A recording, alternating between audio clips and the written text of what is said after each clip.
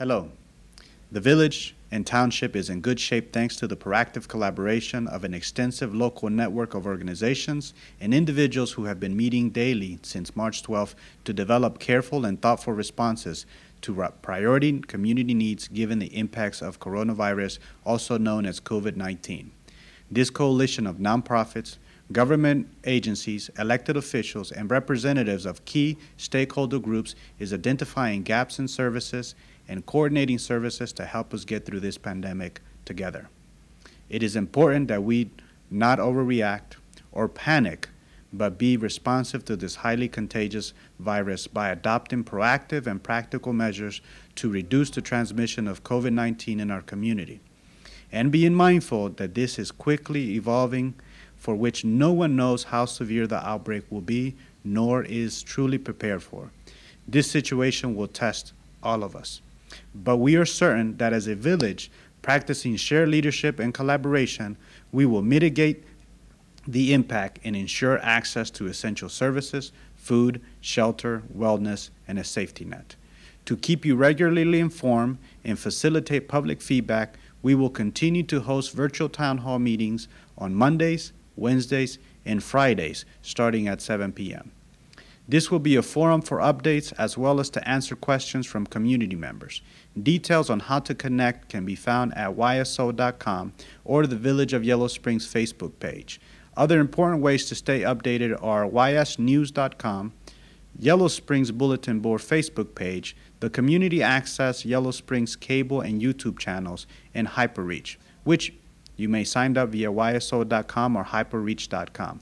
Please join us every Monday, Wednesday, and Friday at 7 p.m. for a virtual town hall. Stay safe. Thank you.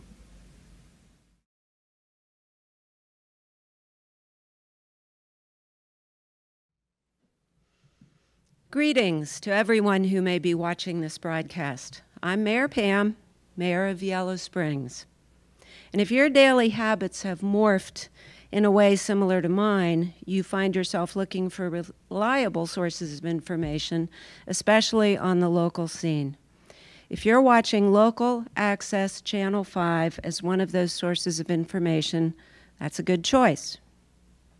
Channel 5 station manager Sean Devine has been reformatting the station to be a useful outlet of information in these times.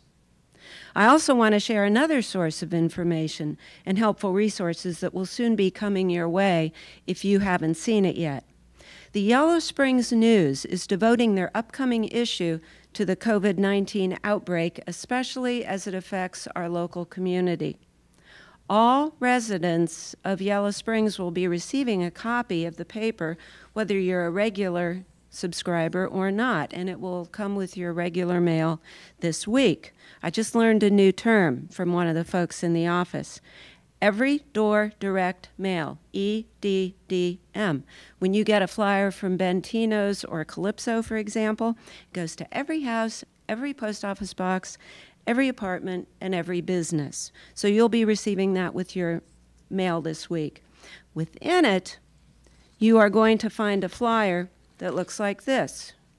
It's bulldog blue and it's two sided. On the front, Healthy Habits Yellow Springs, with the things you have been hearing over and over that by now hopefully you've inculcated to the point where it's automatic. Washing hands, keeping clean, covering cough, and so forth. Those, uh, the front of this flyer is from our friends at the Greene County Public Health Department. But it's the back that I really want to highlight to you now when you open the paper and take a look at this. Village manager Josue listed a lot of resources during his prior conversation with you. And on the back of this are phone numbers and websites that you can access to get answers to specific needs you might have or to volunteer in one of the many capacities that we're lo actually looking for folks to step up and help out. Our Yellow Springs Community Foundation is collecting a list of volunteers now, and you can let them know ways that you'd like to help. Their information is on this flyer.